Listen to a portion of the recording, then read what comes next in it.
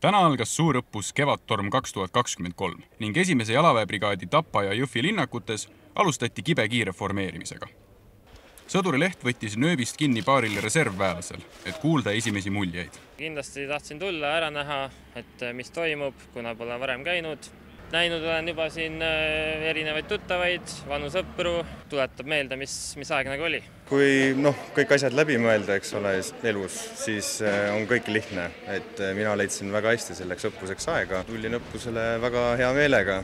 julge pealehakkamine on pool võitu, et äh, alati tasub proovida midagi uut.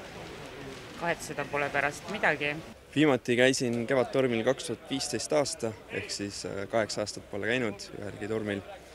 ja praegult see aasta ma ütleks, et on mulje suht hea, et suht ladusalt on isegi läinud. ja vanade võitluskaaslastega olete juba ka kohtunud, kas on kõigil õllekõhud ees ja habemed pikad äh, mõnda üksikut olen isegi näinud, et äh, ja ei, üllatavalt on kõik veel jätkuvalt vormis. Kalevi jalaväepataljoni ülem major Sibul kommenteeris lähipäeva tegevusi paar päeva tegeleme siis äh, erinevate värskendusõppega ehk siis äh, laskmised, äh, välioskused, masinad tuletame meelde.